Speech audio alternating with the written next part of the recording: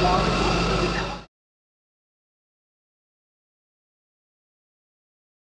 have this guy who has been working coming out of the egg for, since this morning. So let's see, 9 o'clock this morning, and we are at almost 4 p.m. So almost six hours later, he's almost out.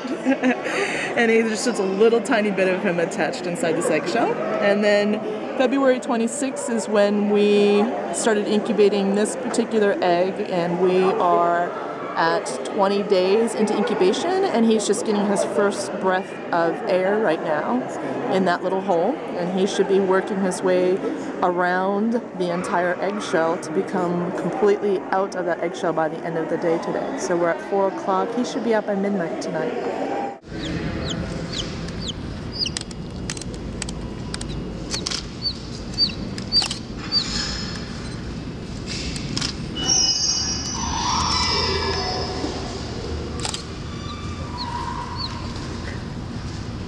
You can see how there's just a little bit of the blood vessels still mm-hmm. kind of attached in there and that just that just kind of severs that's what they've been feeding and breathing through the entire time they've been in the eggshell